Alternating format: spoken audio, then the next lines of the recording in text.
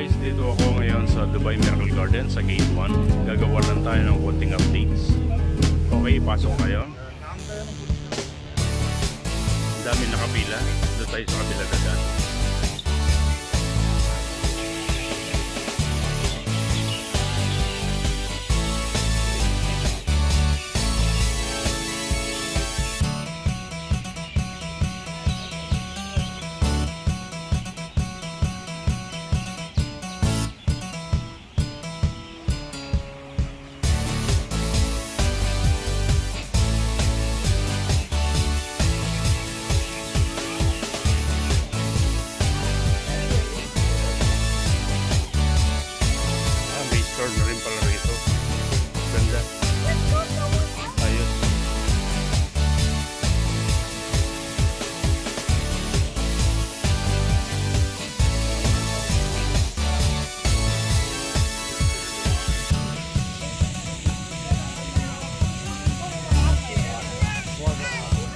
ordinary days lang pero maraming tao.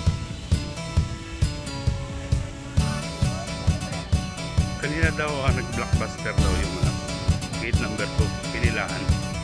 Maraming mga tao nakapila doon kanina.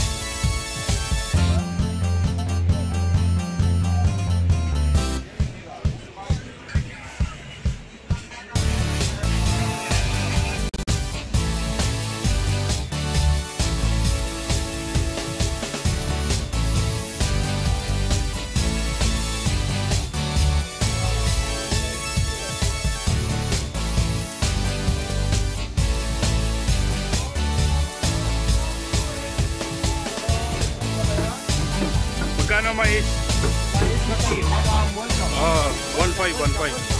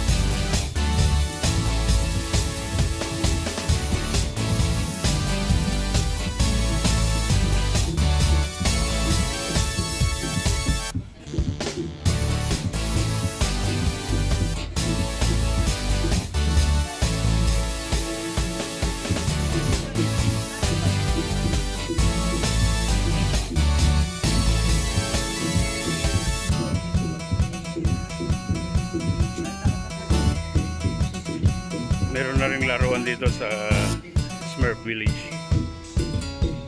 Yan talagang gumagalaw.